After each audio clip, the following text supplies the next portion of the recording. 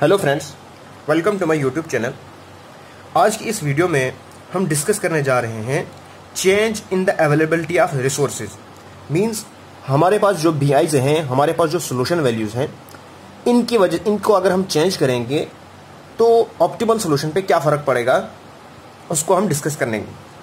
पिछली वीडियो में मैंने आपके साथ डिस्कस किया था change in objective function coefficient जब हमारे पास ऑब्जेक्टिव फ़ंक्शन में जो कोप्शेंट होते हैं उनमें चेंजेस होती हैं तो ऑप्टिमल सोल्यूशन पे क्या फ़र्क पड़ता है? आज की इस वीडियो में हम डिस्कस करेंगे अब change in the availability of resources friends अगर आपको कहीं पे भी कोई भी डाउट हो पिछली वीडियो में या इस वीडियो में, आप मुझे पूछ सकते हो। डिस्क्रिप्शन में मेरा व्हाट्सएप नंबर भी और ईमेल दी हुई है, आप वहाँ से देखकर पूछ सकते हो।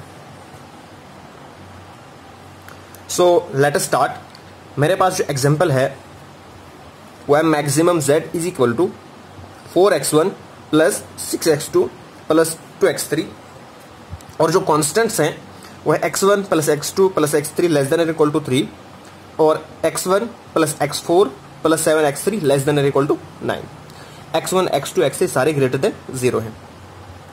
अब हमने क्या करना है? सबसे पहले तो हम इसका ऑप्टिमल सोल्यूशन निकालेंगे। उसके बाद जो पहला पार्ट है, वो क्या बोलता है? Discuss the effect of discrete change in the availability of resources from 39 to 96 अगर हम जो अवेलेबिलिटी ऑफ़ रिसोर्सेज है, हमारे पास जो रिसोर्सेज हैं, वो ये हैं।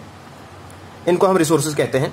जो रिसोर्सेज हमारे पास है थ्री और नाइन फ़र्स्ट रिसोर्स है थ्री सेकेंड रिसोर्स है नाइन अगर इनको हम चेंज करेंगे नाइन और सिक्स में, आप बताओ भाई ऑप्टिमल सोल्यूशन पे क्या फ़र्क पड़ेगा?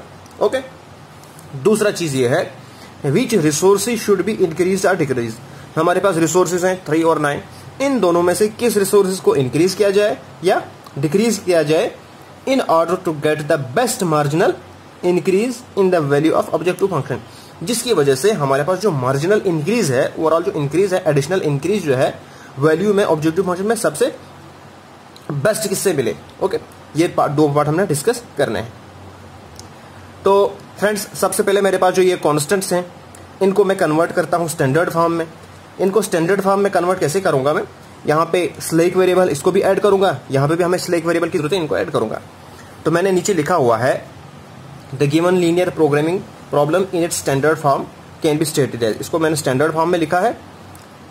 Four X one plus six X two plus two X three plus zero S one plus zero S two ये मैंने दो स्लेक वेरिएबल ऐड किए हैं। उसके बाद इस प्रॉब्लम को मैंने सिंपलेक्स मेथड से सॉल्व किया हुआ है। फ्रेंड्स, जैसे दूसरे क्वेश्चन आप सिंपलेक्स मेथड में सॉल्व करते हो, वैसे ही इसको भी सिंपलेक्स मेथड से सॉल्व करना है। मैंने डायरेक्ट इसका टेबल लिखा हुआ है, जो लास्ट वाला जो सोल्यूशन टेबल है, उसको लिखा हुआ है। ओके क्योंकि क्योंकि सिंपलेक्स टेबल मैंने ऑलरेडी डिस्कस किया हुआ है पिछली वीडियोस में। अगर आपको कहीं पे भी प्रॉब्लम हो सिंपलेक्स मेथड में, आप वहाँ से देख सकते हो। तो जब मैंने सिंप्लेक्स मेथड अप्लाई किया तो लास्ट पे जो मेरे पास सोल्यूशन आया, वो ये वाला टेबल आया। ठीक है फ्रेंड्स इसमें मेरे पास जो x1 है, वो वन है और x2 मेरे पास टू है। और सी जे माइनस जेड जो जो मेरे पास है zero zero minus six minus ten by three minus two by three okay अब यहाँ पे क्या है? ऑल जो C J minus Z J less than zero है तो मेरे पास सोल्यूशन ऑप्टिमल है। उसके बाद x1 भी पॉजिटिव है x2 भी पॉजिटिव है। मीन्स नॉन नेगेटिव दोनों के दोनों है तो मेरे पास फिजिबल भी है और ऑप्टिमल भी है। ओके नाउ अब हमारे पास है फ़र्स्ट पार्ट फ़र्स्ट पार्ट में क्या करना है? जो रिसोर्सिस है, उसको कन्वर्ट करना है थ्री नाइन से नाइन सिक्स तक। ओके तो यहाँ पे मैंने लिखा हुआ है if the new values of the right hand side constant in the constants are six nine अब थ्री नाइन की जगह पे मैं सिक्स नाइन लिखता हूँ, ठीक है? Then the new values of the basic variable becomes अब न्यू वैल्यू जो बेसिक वेरिएबल की, वो क्या बनेगी? एक्स वन एक्स टू जो मेरे पास बेसिक वेरिएबल है एक्स वन एक्स टू ठीक है फ्रेंड्स उसके बाद बी इनवर्स बी इनवर्स आपने ड्यूल सिंप्लेक्स मेथड में पढ़ा है। उसमें क्या होता है कि इस वक्त जो मेरे पास जो बी इनवर्स है, वो क्या होगा? वो जो स्लेक वेरिएबल ऐड किए हैं मैंने, उनकी जो वैल्यू टेबल में होगी, बस वही वही इसमें पुट करना है। तो मेरे पास जो स्लेक वेरिएबल है, वो है एस और एस ओके इनकी वैल्यू जो मेरे पास है फोर बाई थ्री तो मैंने लिखा four by three minus one by three minus one by three minus one by three और वन बाई थ्री ओके ये वैल्यू यहाँ पे लिखी मैंने। उसके बाद मैंने जो चेंज किया, पहले मेरे पास क्या था? थ्री नाइन अब मेरे पास है सिक्स नाइन तो मैंने उसकी जगह पे सिक्स नाइन यहाँ पे लिखा, ठीक है? इन दोनों को सॉल्व किया। मेरे पास रिज़ल्ट आया वो टेन और माइनस वन आया, ठीक है फ्रेंड्स अब मैं एक्स एक्स वन जो मेरे पास आया, वो टेन आया और एक्स टू मेरे पास आया माइनस वन ओके? अब मैं इन दोनों वैल्यूज़ को टेबल के अंदर पुट करता हूँ।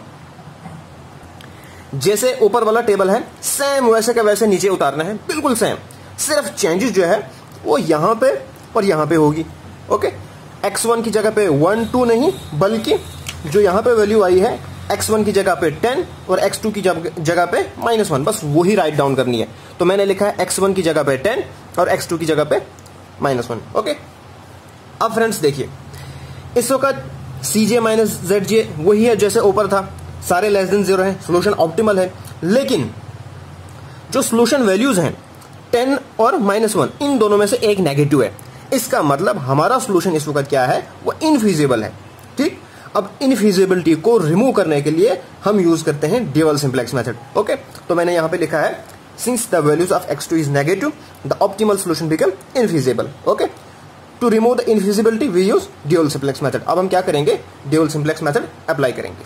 ओके ड्यूल सिंप्लेक्स भी मैंने फ्रेंड्स अपलोड की है वीडियो अगर आप अच्छे से पढ़ना चाहते हो तो आप वहाँ से देख सकते हो. अब हमारे पास देखिए, इन दो में से नेगेटिव जो रो है, वो एक ही है. इसका मतलब ये रो जो हमारे पास क्या होगी? की रो होगी. ओके तो ये हमारे पास होगी की रो अब हमने सेलेक्ट करना है की कॉलम की कॉलम के लिए फार्मूला ये होता है. C J minus Z J upon Y R J और वाई आर जे हमेशा क्या होना चाहिए? लेस देन ज़ीरो ठीक है? अब देखिए सी जे माइनस जेड जे यहाँ से हम चूज़ करेंगे। लेकिन वाई आर जे हमेशा नेगेटिव चूज़ करना है। तो इस रो में नेगेटिव एक ही है, वो है माइनस वन बाई थ्री इसका मतलब सिर्फ़ ये डिवाइडेड बाई ये होगा और यही कॉलम हमारे पास एंटर होगा, क्योंकि एक ही है तो हमारे पास और कोई चॉइस है ही नहीं। तो मैंने ये लिखा है तो एस वन कॉलम एंटर हो गया, ठीक है? एस वन जो कॉलम था, वो एंटर हो गया। और लीव कौन सी रो करने लगी? ये वाली, ठीक है? मींस एक्स टू वेरिएबल जो बेसिस में था, वो रिमूव हो जाएगा बेसिस से और non basic variable S one वो एंटर होगा बेसिस में ओके और हमारे पास जो की एलिमेंट आएगा, वो आएगा minus three by one by three okay तो अब हम क्या करेंगे? अब हम इसको सॉल्व करेंगे। अब यहाँ पे हमारे पास वन चाहिए, उसके लिए हम क्या करेंगे? इसको हम डिवाइड करेंगे सॉरी मल्टीप्लाई करेंगे माइनस थ्री के साथ। जब हम इसको माइनस थ्री के साथ मल्टीप्लाई करेंगे तो फ्रेंड्स यहाँ पे जब हम माइनस थ्री से मल्टीप्लाई करेंगे तो यहाँ पे क्या बनेगा? थ्री यहाँ पे ज़ीरो यहाँ पे माइनस थ्री यहाँ पे three two six minus six यहाँ पे बनेगा वन और यहाँ पे बनेगा माइनस वन ओके अब यहाँ पे हमें चाहिए ज़ीरो तो इधर ज़ीरो बनाने के लिए मैं क्या करूँगा? मैं वन को मल्टीप्लाई करूँगा फोर बाई थ्री से और फिर इस रो में से इस रो को निकालूँगा सब्ट्रैक्ट करूँगा, ठीक है? तो सबसे पहले जब इसको मैं करता हूँ four by three ten minus three multiply by four by three तो बने थ्री और थ्री कैंसिल हो जाएगा। टेन माइनस फोर बनेगा तो मेरे पास आएगा सिक्स। ठीक है फ्रेंड्स? इसी तरह ये भी करना है। इस तरह ये भी, यहाँ पे भी, यहाँ पे भी। ठीक है फ्रेंड्स? ओके। तो मेरे पास जो है, नया जो डिवल सिंप्लेक्स मेथड का जो टेबल है, वो यहाँ पे आ गया। ओके। इस वक्त मेरे पास जो सोल्यूशन है, वो दोनों के दोनों पॉजिटिव हैं और C J minus Z J negative हैं। ठीक है? इसका मतलब सोल्यूशन इस वक्त क्या होगा? ऑप्टिमल भी होगा और फिजिबल भी होगा। ओके फ्रेंड्स तो ये हो गया हमारे पास ड्यूल सिंप्लेक्स मेथड अब नेक्स्ट हमने क्या करना है? अब देखिए, जब भी हमारे पास जो सोल्यूशन वैल्यूज़ हैं, उनके अंदर क्या होगा? स्लेक वेरिएबल होगा। क्या होगा? स्लेक वेरिएबल होगा। तो हम क्या करते हैं? हम जो है, जो रेंज होता है वेरिएशन का, जो रेंज होता है चेंज जो वेरिएशन हुई है जो सोल्यूशन में चेंज होती है, उसको हम कैसे डिटरमाइन करते हैं? उसके लिए हम दो चीज़ें करते हैं। एक तो लोअर लिमिट निकालते हैं, एक अपर लिमिट निकालते हैं। ठीक है फ्रेंड्स अब लोअर लिमिट निकालने का फार्मूला क्या है? लोअर लिमिट निकालने का फार्मूला ये है ओरिजिनल वैल्यू मैं यहाँ पे लिखता हूँ। Original value minus solution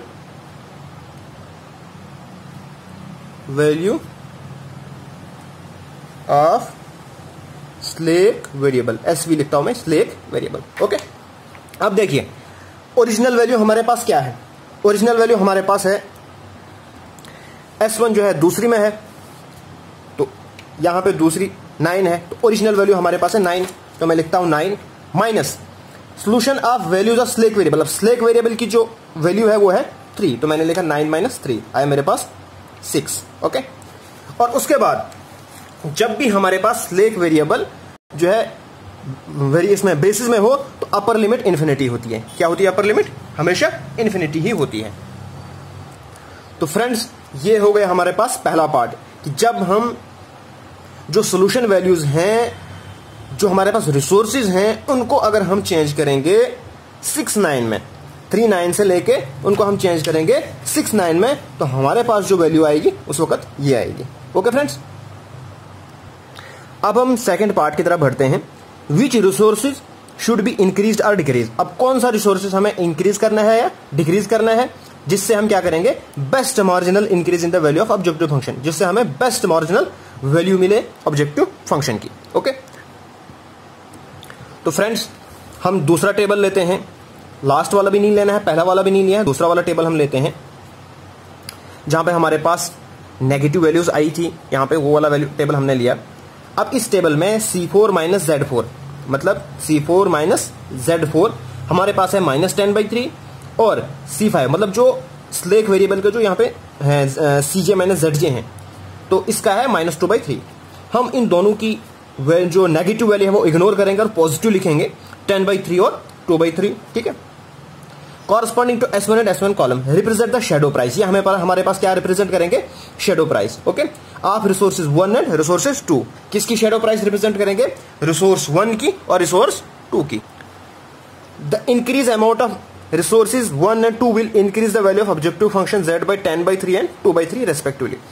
और हमारे पास जब भी हम रिसोर्स वन को या रिसोर्स टू को मतलब थ्री नाइन जो हमारे पास रिसोर्स हैं, जो ऑब्जेक्टिव फ़ंक्शन की सॉरी हाँ जो हमारे पास बी की वैल्यूज़ हैं, उनमें जब भी हम इंक्रीज करेंगे, जो ऑब्जेक्टिव फ़ंक्शन है, वो या तो मतलब टेन बाई थ्री और टू बाई थ्री इंक्रीज हो जाएगा। Okay friends now in order to know how much these resources में इंक्रीज अब हम ये जानेंगे कि कितना रिसोर्सेज इंक्रीज हो सकते हैं। कितने तक ये रिसोर्सेज इंक्रीज हो सकते हैं। उसके उसके लिए जानने का प्रोसेस क्या है? ओके लेट अस डिस्कस अब हम डिस्कस करेंगे। सबसे पहले मैं डिस्कस करता हूँ let del B be the increase in the first resources पहले रिसोर्सेज को लेते हैं और उसके अंदर हम इंक्रीज करते हैं। ठीक है? अब फार्मूला मेरे पास क्या है? वो है X B is equal to B inverse into B ठीक है फ्रेंड्स बी इनवर्स क्या हो रहा है मेरे पास? स्लेक वेरिएबल के जो नीचे जो वैल्यूज़ दी हुई है टेबल में ठीक है फ्रेंड्स तो यहाँ पे देखिए four minus one by three minus one by three और वन बाई थ्री ठीक है फ्रेंड्स तो यही मैंने लिखा है four by three minus one by three minus one by three और वन बाई थ्री ठीक? और मेरे पास जो रिसोर्सेज हैं, वो मेरे पास क्या है? ये देखिए, ये पे है थ्री और नाइन तो इन दोनों को लिखना है मैंने। मैंने लिखा थ्री और नाइन ठीक है फ्रेंड्स अब इसके अंदर मैंने इंक्रीमेंट की डेल बी वन ठीक है? मैंने लिखा है कि लेटेस्ट देखते हैं कि पहले रिसोर्स को अगर बढ़ाएँगे तो क्या वैल्यू रहेगी और सेकंड रिसोर्स को बढ़ाएँगे तो क्या इंक्रीज रहेगा, कितना तक बढ़ेगा, ठीक है? तो जब इसको मैं सॉल्व करता हूँ, मेरे पास आता है one plus four by three del B one और सेकेंड में आता है two minus one by three del B two sorry B one greater than equal to zero अब मैं पहले को लेता हूँ ग्रेटर देन ज़ीरो पहले। तो जब मैं इसको लेता हूँ तो मेरे पास आएगा del B one is greater than or equal to minus three by four okay फिर मैं दूसरी को भी लेता हूँ तो क्या आएगा? Two minus one by three del B one greater than zero और del B one is equal to इसको मैं सॉल्व करता हूँ सिक्स ठीक है फ्रेंड्स अब मैं क्या करता हूँ? इन इक्वलिटीज को मैं इकट्ठा लिखता हूँ। देखिए, यहाँ पे क्या है? Del B one greater than है, माइनस थ्री से तो मैंने लिखा माइनस थ्री से, माइनस थ्री छोटा है डेल बी वन से। फिर ये छोटा है सिक्स है तो मैंने यहाँ पे लिखा, ओके? उसके बाद, डेल को हटाने के लिए बी वन की जो वैल्यू है, वो है थ्री क्योंकि पहला जो है थ्री है, दूसरा नाइन है। तो यहाँ पे देखिए, ये वाला मैं कर रहा हूँ डिस्कस बोल रहा हूँ थ्री और नाइन ठीक है? तो मैं जो है थ्री को बोथ साइड प्लस करूँगा। तो मैंने यहाँ पे भी थ्री प्लस किया, यहाँ पे भी थ्री प्लस किया। ठीक है? मेरे पास आया नाइन बाई फोर और नाइन ओके ये हमारे पास होगा फ़र्स्ट रिसोर्सेज में। जब हमने चेंज किया फ़र्स्ट रिसोर्स में तो मेरे पास जो बी बी वन की जो वैल्यू है, वो कहाँ से कहाँ तक चेंज होने लगी? मतलब नाइन बाई फोर से नाइन तक। ओके ये हो गया एक।